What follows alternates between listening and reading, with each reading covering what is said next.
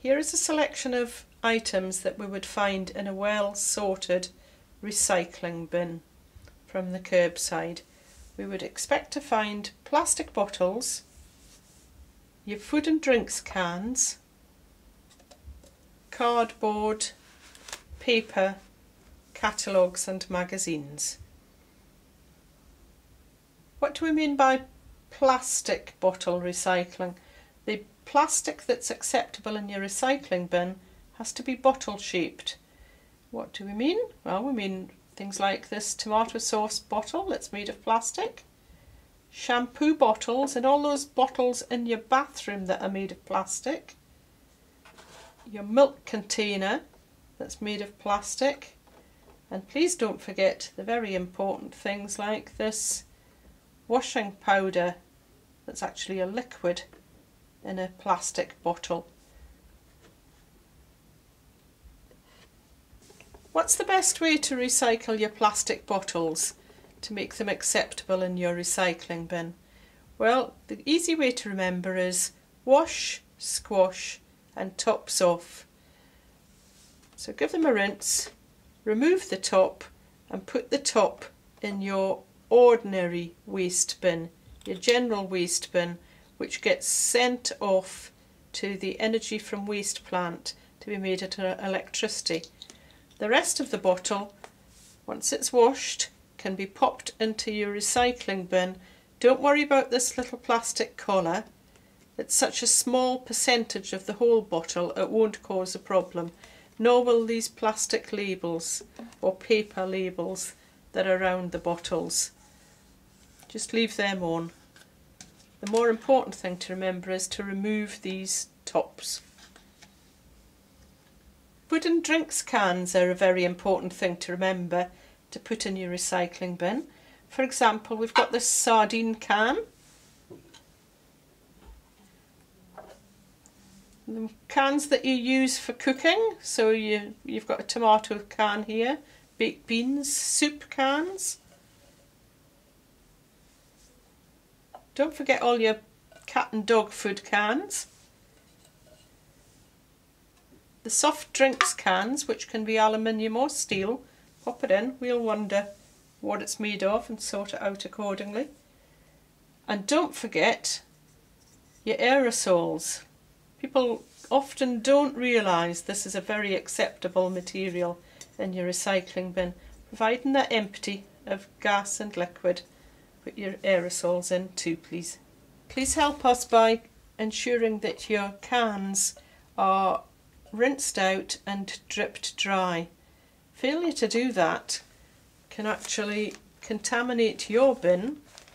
For example, this newspaper with a lot of tomato sauce on it will cause the newspaper to be contaminated.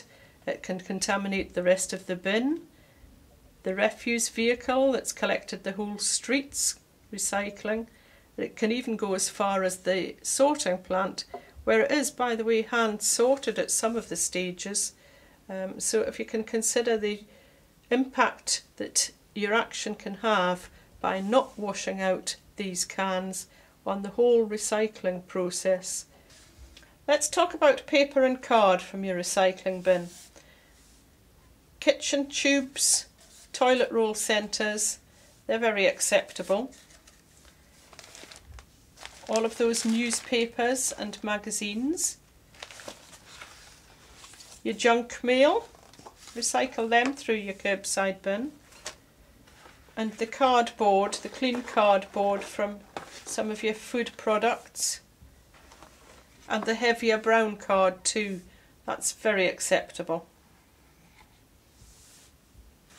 Some of these products have been used with food if they look clean to you, then they'll be acceptable. See all of these, excellent things to recycle. However, this pizza box, it still has food waste on it. That wouldn't be acceptable. That would actually cause a problem to the other paper in your bin or to your neighbour's bins. You may want to rip the top off, which is pretty clean, and put this base into your general waste bin. All of these plastic bottles can be recycled through your curbside recycling bin. We have a small portion of plastics here to show you the things that can't be recycled through your curbside bin. The plastic carrier bags are a big no-no. If they're empty, they're a low-grade plastic anyway, so they're not useful for us to collect. They get trapped amongst the paper, so they cause contamination. If they're full, they could hold food waste, nappy waste, dog waste. We really don't know without breaking them open and the operatives don't have the time to inspect each sealed plastic bag.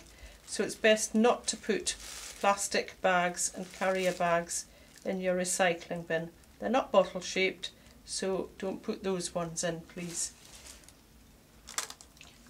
These food containers, again, low grade plastic, easily squashed, therefore easily hidden amongst the paper products. You'll recall that four-fifths of your curbside recycling bin is paper products. So this is a very lightweight product with poor market value that can cause contamination of a high value paper product. So it's better for us if you don't put this kind of plastic in your bin. Residents all also ask us if we can recycle wrapping paper, gift paper, Christmas paper and this sort of thing. Um, the, this is a crisp wrapper for a multi-pack. There's a good chance that this particular wrapper is high content plastic and it's not bottle shaped therefore we wouldn't want it in the recycling bin. Christmas wrapping and birthday wrapping paper look similar. How can we tell? What's the easy way of telling whether this is recyclable or not? Is it a high content paper or is it plastic? Well, try squashing it. If it squashes and springs straight back, then that's high quantity of plastic, so it's not recyclable through our curbside bins. If it stayed squashed, then it would be a high percentage of paper, so it would have been acceptable.